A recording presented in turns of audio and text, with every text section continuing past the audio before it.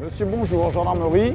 Oui. Je vous arrête parce que vous n'avez pas votre ceinture de sécurité. Oh merde Oh, je sors du boulanger, nom de Dieu Quel con Préparez vos papiers du véhicule, s'il vous plaît, mes collègues vont arriver. Oh merde Eh, C'est vous qui le dites, hein, je ne me permettrai pas de vous le dire. Non, mais c'est la vérité. Je sors du boulanger, bah, je paye dans le morceau. Oh, Euh, oui, oui. Si vous voulez bien me présenter vos papiers, s'il vous plaît, monsieur. C'est la première fois que vous êtes verbalisé Ouais, c'est la première fois, oui.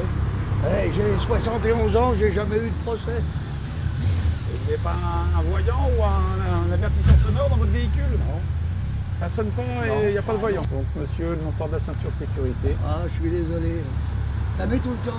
Je sors du boulanger. Pris sur le fait, le retraité ne cherche absolument pas à nier son infraction. Il a l'air d'assumer pleinement. Euh, j'ai fait le con, je l'ai pas mis. Je sors du boulanger, puis j'ai vu un copain, un salut, tout, puis hop, me voilà parti. Et puis, et puis, et puis, bah voilà. Ah oui, mais fait chier parce que la retraite est pas grosse, hein. Eh, Première fois que j'ai un procès de ma vie. Ouais, mais ça va m'empêcher de dormir, hein, sûrement. Donc l'infraction elle est de 135 euros. Elle est minorée à 90 euros si vous la payez dans un délai de 10 jours à réception du courrier d'Orel. 90 Oui, à réception du courrier d'Orel. 10 jours. Tenez monsieur. Ça me fait 90 jours de pain en moins. Voyez-vous Tout ça pour une ceinture. Oui. Il est facile d'accrocher le Non, départ. mais je la mets toujours. Voyez-vous eh, Vous me pénalisez de 90 jours de pain. Tenez monsieur, s'il vous plaît. C'est grave. Une signature Je vais signer. Ça fait très mal. Parce que la retraite n'est pas grosse. Ça fait très mal. L'ambiance reste très courtoise, mais pas d'indulgence pour l'absence de ceinture.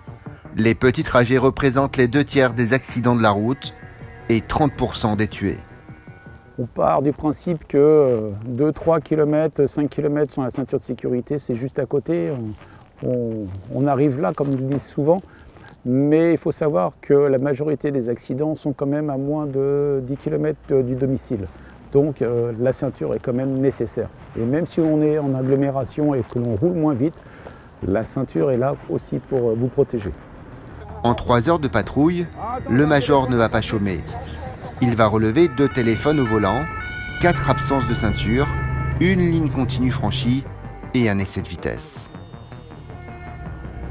En fin de matinée, de retour à la brigade, le constat n'est pas très rassurant. Oh, bah le bilan malheureusement est encore positif quoi. On trouve toujours des infractions entre euh, des téléphones, les ceintures, les lignes continues. Bon, bah, le jour que les gens vont comprendre que faut respecter le code de la route, eh bien, je peux vous assurer qu'on n'est pas prêt d'être au chômage.